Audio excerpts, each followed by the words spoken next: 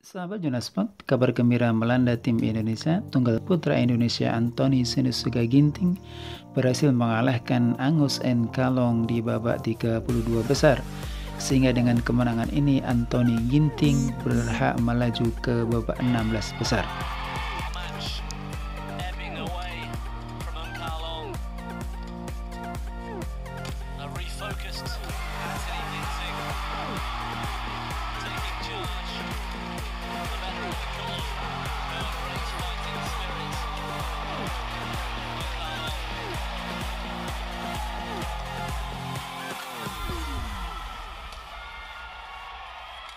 Shot from.